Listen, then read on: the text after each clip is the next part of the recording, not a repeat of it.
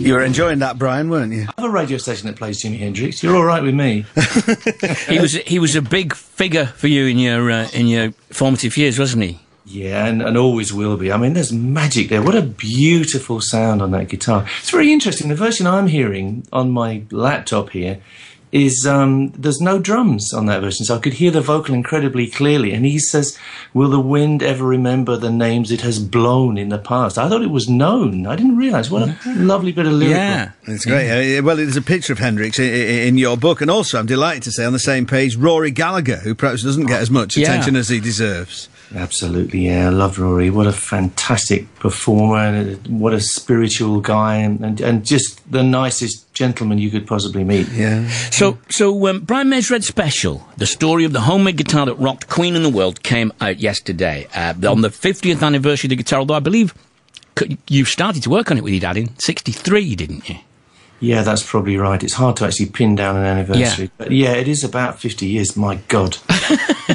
That time go? Well, do you know what, Brian? I looked it up this morning. I thought, when was the first time I saw Queen? And you, uh, I saw Queen supported by a band called Nutz at Manchester University. It was 60 pence. And I looked it up on one of those sites. 20th of March, 1974. Wow, you were there? I was there. I was 16. And so I had to lie about my age to get in. you said you were younger, right? 60p. I was. but the guitar, the, you, you say it's hard to pin it down, but it, what's what's striking about this book is how much stuff you have retained. Yeah. You- the family archive seems remarkable. It's amazing. Well, I had some great help, you know, because I tend to keep everything, but I can't find it. But uh, I have a great person, Greg Brooks, here, who organises my uh, kind of archive of Queen stuff and personal stuff as well. So he was able to find all sorts of stuff which I thought was gone forever. So I mean, the, I have to say, this book has come out in response to other people working. You know, most of the books I do, I pour over and, and drive myself nuts. But this one really, um, uh, Simon piloted and pushed through, and Carlton Books said, "We want this book and we want it now." So it, they made it happen, and uh, of course I put lots of input in, but it was very painless for me. We just did it by interviews, and, and at the very last moment, I had a chance to get in there and do some editing and Yeah. fill in the little gaps which I thought were there. But there are your original notes and drawings that you and your father made. Yeah, well, as I say, I do keep everything. Yeah. So we Sometimes it's a problem. we we should say then, this is the famous guitar that anyone who's who's seen you down the years will know. Uh, famous guitar with its very own tone, the Red Special, as you've later christened it, that you've played at so many uh, important events and on all the Queen records. And I was thinking, it's nowadays. It'd be very fashionable to do what you did then now in these days of sustainability and stuff like that. But it was unheard of then to make a guitar kind of from scratch, from in a kind of also almost wartime make do amend spirit, wasn't it? It was what we used to call Heath Robinson almost. Yeah, yeah. I mean, we had no money. I mean, that, that's why we made the guitar. We- We couldn't possibly buy a Stratocaster or a Gibson. Well, we were speculating about this when, they- like, you know, Hank Marvin got the first Strat in England. It's the price of a house, or at least a car, anyway. Oh yeah, it was unimaginable. I mean, used to go in the shops and see them on the wall and not be allowed to touch them. That's Yeah. it was when you were a kid in those days. And you could see the brochures, you know, but there was no way I could have, have owned one of those things. So we decided we'd make the guitar, me and my dad. And how did you get the shape? Because the shape has never. It seems from from from looking at the book, there were no prototypes. You seem to sort of more or less just hit on this design straight away. Well, actually, we did do quite a bit of experimentation, but the shape I did myself. I thought, well, I will start from first principles. What it's supposed to be is a Spanish guitar shape with cutaways, and I wanted the double cutaway so I could really get to the, the dusty end of the uh, fingerboard. Yeah. Uh, so I did my own shape, and I, you know, sat there for quite a long time figuring it out, and um, that became my guitar shape, you know, sort of a special shape. And famously, uh, some of it is uh, from a, a friend's old fireplace. Yeah, it was all made from stuff that was lying around, and it was a hundred-year-old fireplace. A piece of that that I made the neck out of, and all with hand tools, you know, chisels and planes and spoke shaves and sandpaper. And um, the the main strain um, is taken by the body, which is a piece of you know there's, there's an insert into the body, which is an, a piece of oak, which I have to say was as hard as steel and incredibly hard to work. But that was from an ancient oak table that we had. I mean, they don't make oak like that these days. You know, they cut the trees down quite early, but in those days, you know, that was well seasoned, and Yeah. that was probably hundred years old as well. Wow. So is it very heavy? It's not as heavy as a Gibson Les Paul. Right. Okay. Uh, it, but you know, it, it has some weight to that. It has less weight because I put these acoustic pockets in it, so a lot of it's hollowed out, Right. and that's very deliberate to try and make it feed back in the ah. right way. So I claim to be the first person to make a an electric guitar that was designed to feedback rather than not feed back. Yeah. yeah. And does it have a mass? I think in, in the book it says it's got a massive neck. So is the neck because you know because you perhaps you were saying you know tooling the wood was very difficult. Is the neck thicker than than you would normally expect on a guitar? It's quite thick, and some people are surprised when they pick it up, but I like it that way. And it was actually modelled on the old acoustic I had when I was a kid. And, and I have quite long fingers, so it works Yeah. for me. I, I like to have a, something to get hold of. Yeah. Leaving aside kind of technical uh, detail, one, uh, one would imagine that as well as anything else about the guitar, for you, it, it must be suffused with feelings about, about you and your dad making it, and you and your dad, and how you had. I mean, it's fair to say, your dad wasn't at all convinced that the rock star life was the one you should be pursuing, was he? No, it's a kind of irony at the time. You know, he was very much pro making the guitar, and he loved to do stuff, and it was a great bonding experience. You can imagine for some father and son, but he hated the idea that I was giving up my career as he saw it. You know, and never getting a proper job and going off to be a pop star. He just could not compute that, and it was so hard for him. You know, it was about a year and a half before he could really get over it, and he only got over it because he saw us at Madison, Madison Square Garden, Garden, yeah. and I flew him out there, and I, I've told this story a lot, you know. But he he he saw it, and suddenly he he came over to me afterwards and said, "Okay, I get it now. You know, I understand why you had to do this." that would kind of convince you, wouldn't it? At Madison Square Garden. was Well- great. It was a wonderful moment for me. I bet, yeah. And do you still do you still play this guitar all the time? Or Oh, is- yeah. yeah. every day, pretty much every day of my life, and, unless the guitar's in a different city from where I am, which does happen. Yeah. When that- we're to a- When that happens, Brian, do you, are, you, are you a little nervous? Are you a little sweaty palmed about it if it's not in, in within where you can see it? I, I used to be, but now you know Pete Pete Malandrone has, has looked after it for, for many years. He's been like the personal bodyguard as well as technician to that guitar. So he's fantastic. You know, he's he's probably safer in his hands than it is in mine. Yeah, yeah, and people would assume you have kind of racks of these things backstage, but this is the, this is the one. This is the one. I do have a few spares backstage, you Yeah. know, and I have a couple of different tunings. And of course, we make Brian May Of course, yeah, yeah. I'm able to use a couple of those on stage, and they're great. But you know, the original is something. It's, it's like a piece of my body. Yeah, know. well, indeed, and the, the, the dot markers are made out of shirt buttons and all that. We're going to play a track with you. Why did you start using a um, a, a sixpence as a pick, and do you st- and do you still do that? I still do that. Yeah, I used to use very bendy picks because I thought it was good for getting speed, but I gradually discovered that I wanted more and more hardness in the in the in the in the pick, in Yeah. plectrum, as we used to call it. Yeah. And the more rigid it is, the more you feel what's happening at the string in your fingers. So in the end, I, I picked up a coin, and it was just perfect. That's all I needed. Um, and I changed the way that I held the pick, sort of bending one of the fingers round, and I never went back from from that point. The sixpence has another great advantage. It's hard enough to be, you know, give you all that contact. It's also soft enough not to break your steel string, strings because it's it's made of nickel, silver, or whatever, and it has this lovely serrated edge. And if hmm. you turn it at an angle to the strings, you get a lovely kind of splutter.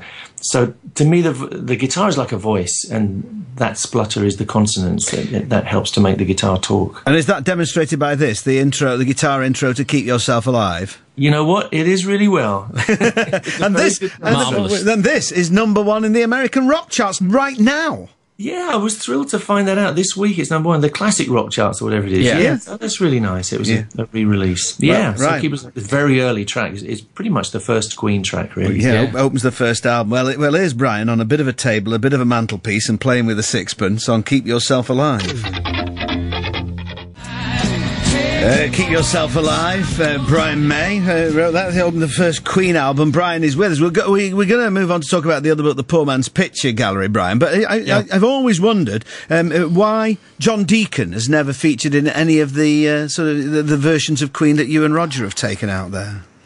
John just has a choice. Uh, you know, he's exercised his right to opt out, and uh, he's in approval of what we do, and Yeah. uh, you know we have that from him the whole time, and um, uh, he just doesn't want to to be out there. He doesn't feel able to cope with, with the pressure, and Yeah. I think that's that's right and proper that he can make that choice. It's a shame. I mean, we do miss him a lot, but Yeah, that's yeah. the way he wants it. Okay. Christian Corley, my word. Christian Corley says, I thought I'd never hear Keep Yourself Alive on British radio. uh, apologies to the neighbours, suggesting that Christian cranked that right up. And Phil says, totally the best Queen song ever. so we're talking to Brian May. We've been talking about the Red Special. Brian's got another book out as well. Now, am I pronouncing this word right, Brian? Stereoscopy? Exactly, it oh. is stereoscopy, otherwise known as 3D. Yes. Yeah, because it sounds medical for the uninitiated. Yes. So you better start yeah. by explaining stereoscopy. Well, it's what we experience every day with our two eyes instead of one. You know, there's a there's an incredible miracle takes place really, because our two eyes give our brains two different pictures of the universe, and every second of our waking life, those two pictures are merged in our brains to make a kind of 3D picture, which is assembled in our our brains. You know, so we see in solidity, we don't see flat. So that's what stereoscopy is. And it's always surprised me that because we kind of take that for granted. Why would we have, you know, why would be, why would we be happy with flat pictures in mm. paintings and photographs? Why wouldn't we go for stereoscopy, which is really reproducing that experience and, and giving you a, a three dimensional picture of some place which perhaps you've never been? And this was a this was a big craze in Victorian times. We're sort of the 1850s, 1860s here, aren't we? Exactly. Yeah, it coincides with the birth of photography itself. Uh, stereoscopy was right there in the beginning, invented by a lovely man called Charles Wheatstone in 1838. And, and you, it's amazing. Sorry. And, and, you started collecting things because, and, and I think your in, your interest in it was sparked by something that, that tumbled free out of a cereal packet, wasn't it? That's right. Am I allowed to mention Weetabix? Yes. Why not? yeah, your Weetabix packet in those days, when you were a kid, came with a wonderful card, and it was two little flat pictures on a card and you could send away a packet top from Weetabix and one and sixpence and they would send you a stereoscopic viewer to put this card in. And to me, it was just complete magic. You put the card in and suddenly instead of a flat representation, you felt you could walk through the window and touch the animals and whatever mm. was in that picture. So I was completely hooked and I thought, why doesn't everybody do this the whole time? So when did you start to actually uh, collect these these vintage sort of Victorian artifacts? Um, when I wasn't um, on the poverty line. Yeah. you know, I used to go when I was a student. I used to go to Christie's, which was nearby in South Kensington, and look at all these items for sale in the auctions. And I couldn't possibly bid on any because I didn't have any money. They were expensive even then, were they? Not that much, but I just didn't have any money. No, yeah you know, I had enough for fish fingers and that was it. Or cod in a bag, as it was in those days. you know, and I, w- I was quite happy. I never felt the need for money, but, but, and I was able to go to the auctions and experience these things in a way which you couldn't at a museum. At an auction, you could touch them and actually look at them and put them yeah. in viewers. And I developed the knack of free viewing, so I could see them all in 3D without the viewer as well. So I could skim through them and see them all. So I, all my learning was done in auction houses without actually buying anything. What do you mean by yeah, free viewing? That, Is that where, where sometimes people uh, on the street sell 3D images and they say don't concentrate on it, just let it sort of wash over your eyes. Is it that? Is that what you mean? Yes, it's a bit like that magic eye technique. Yeah. Is if you relax your eyes, you can let the two pictures swim together. And I have a website which has been up for a long time called londonstereo.com and there's some instructions there to help you. Because once you develop the knack it's really easy. You can do it all the time. You look at two you know stereo pictures side by side you can instantly see them in in three dimensions. Right and okay. the the, the, uh, the, one of the interesting things about looking at the book that came out to me i hadn't realized that, that, that these paintings were sort of you know a big cut one of the people really anticipated the release of the next batch almost like the release of a new queen album or something. People were waiting for it Yes, it was very big in Victorian times, and I've been learning actually. I mean, the guy who's driven this is sitting next to me, Denis Pellerin uh, from France, and um, he's made a study of how this all happened. And you're right. Um, people were absolutely devoted to this stuff, and they would wait for the next painting from someone like Millais or whatever. Yeah, they, they would see it in a gallery, but they wouldn't be able to take it home. Yeah, and what stereoscopy did was uh, these photographers kind of made a representation of the painting, but with real people, and photographed it in 3D. And the 3D cards could be taken home, so they could be studied forever in your living room. So the two things kind of went hand in hand. That's what this book is about. And is that why it's called but, the Poor Man's Picture Gallery? Because you could afford the postcard. Yeah. Exactly, and uh, it was said at the time that stereoscopy was the poor man's picture gallery. Yeah. Kind of insulting, but also in a sense, a great tribute because it did bring art to every man. Well, that's what I was going to say. Was it was it a success, and, and when did it start to die out? Presumably with moving pictures, was it? It was a massive success. Yeah. Um, and the London Stereoscopic Company of the day boasted that it sold a million views, or it had a million views on sale. They- They had branches in Oxford Street and Regent Street and one in New York. It was huge, yeah, like records. Um, it died out sort of I think actually not because of movies. It, it died out earlier than that, and it was supplanted by something quite boring called the carte de visite, and I've never figured out why. You know, which is very flat and very standard. You know, carte de visite these little sort of calling cards, and they would have a photograph on them, and they became massive at about the end of the 1860s, and stereoscopy was kind of forgotten until about 1900 when it became huge again. Oh. And the, good, the, the good news is that if you buy Brian and Denise's book, you don't have to um, uh, send off to Weetabix to get a viewer because it, co- it it comes comes, with with, one. It comes, yeah. It's not, it won't even cost you one and sixpence.